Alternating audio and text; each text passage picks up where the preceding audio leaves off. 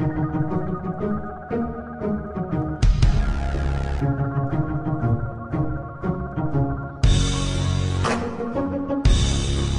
welcome to another episode of Generalization Gamers. This is Mike.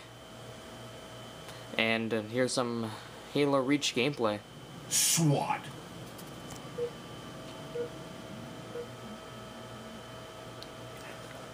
As you can see, I'm recording this in theater mode. And it takes me a while to actually do something because I couldn't find anybody. See fairly simple gameplay.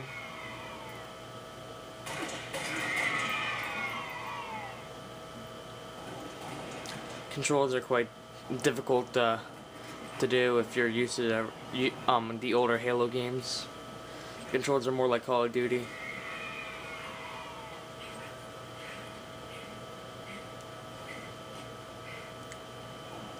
This is pretty cool. Can, this tube right here takes you into space. You, you have a retu- return time to the battlefield, but it's a quick way to get across the map. As long as you don't die in the process.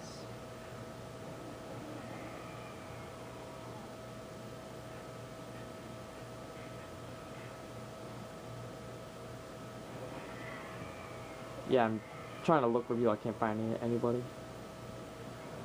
So let's try this again. Need to return to battlefield, but four, three, four. All right. See if I can find anybody.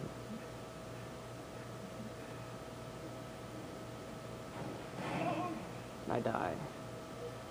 How great.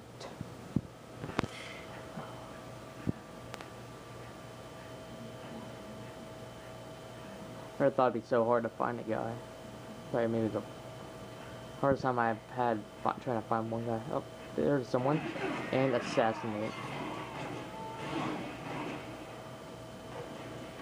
You know, I'm just immediately killed afterward.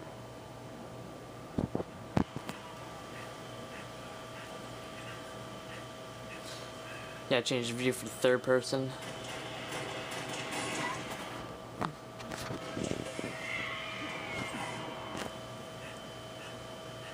Again, so very simple gameplay.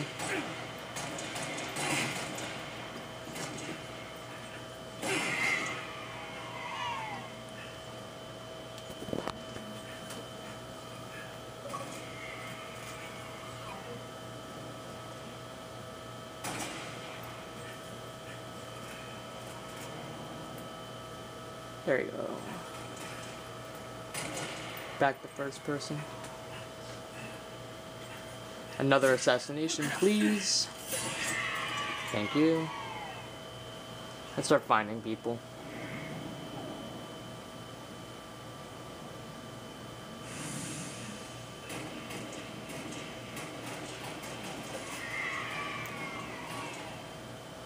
You can see the graphics are pretty amazing. It's hard to tell on this high definition camera, but they're still pretty good.